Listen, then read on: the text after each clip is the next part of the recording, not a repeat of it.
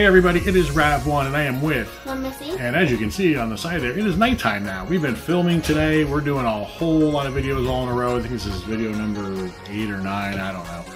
It was light when we started and it is dark now. Um, but we have a cool video to you, for you today from Chrono Toys.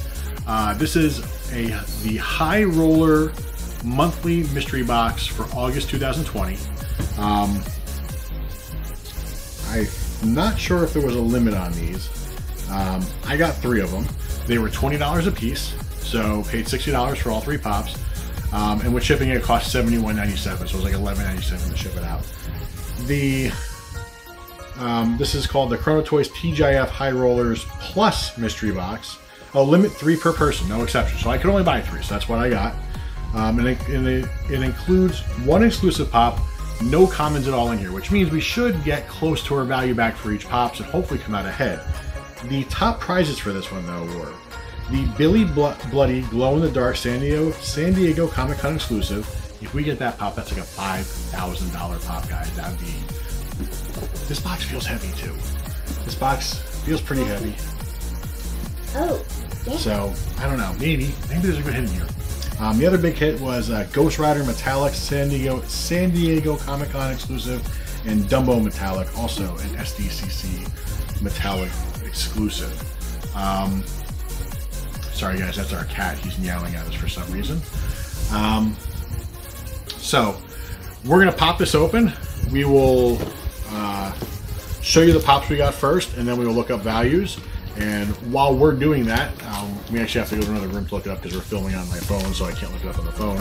There'll be no time that goes for you guys. It'll be instantaneous. You'll see the screen blur, and we'll come right back, and we will have that. And guys, we're going to pause for one second while we get this cat out of the room because he's meowing a lot. So we'll be right back.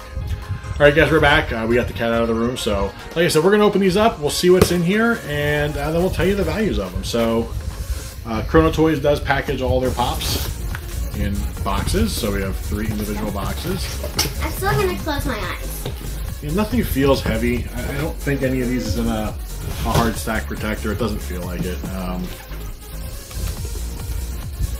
yeah, I mean this one you can actually even see through the box. It's just on a regular regular pop. So we'll do this one last. It feels the heaviest, sturdiest of it, and then we'll we'll see what we got here. We'll do this one first because, like I said, I can already sort of almost see through the bottom of this, even through the bubble wrap.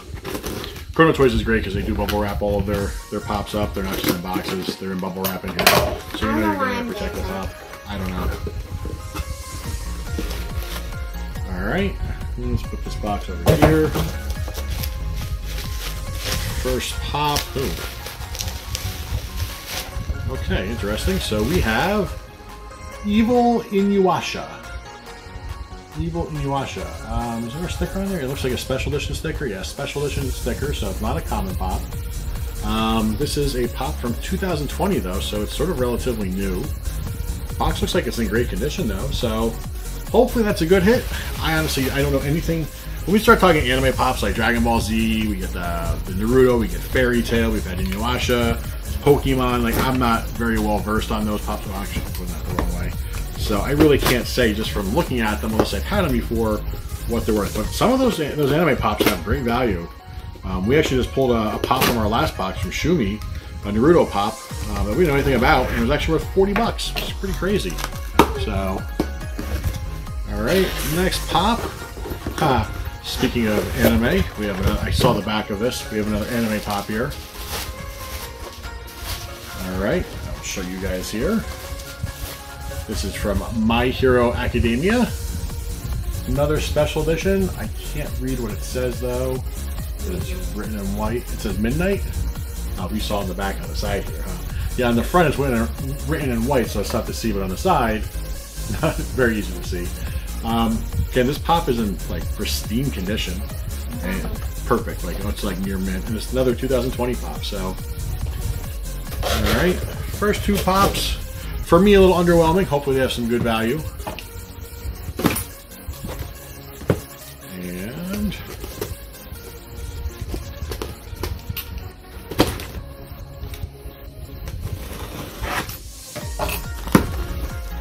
pop number three.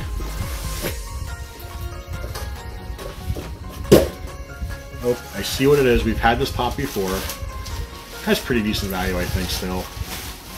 Not super great, but not bad either. It's the special edition Pinocchio with Jiminy Cricket on his nose. So, not too bad. Uh, ooh, the pop does have some, little bit of damage to the front. See it there? See the little streaks across it?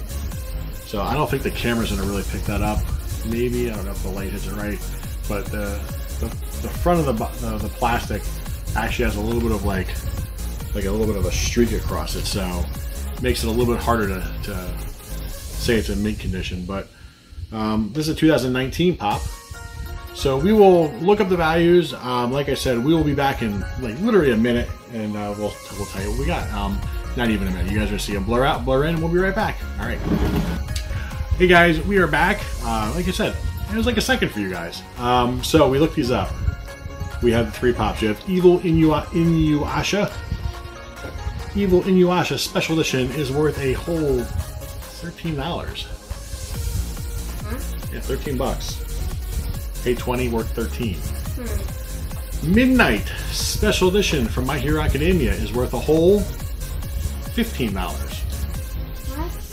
Yeah, so we paid forty for these first two, and we got twenty-eight out of it. That's not great. So Pinocchio, this is Pinocchio lying. That's why his nose is out with Jiminy Cricket on it. Is actually worth twenty-six dollars. So we actually made six dollars on that one. So all in all, we paid sixty for these. We got fifty-four in value. Um, so we lost six bucks. So not great. Um, you know, we actually, besides Pinocchio, haven't gotten any, any of these pops before, which is good because a lot of times you get the same kind of pops over and over again, which is just the. Um, so we actually didn't do terrible in that regard, but the fact that we got the same pops again, I mean, uh, we got pops that were special editions that weren't really worth anything, not so great.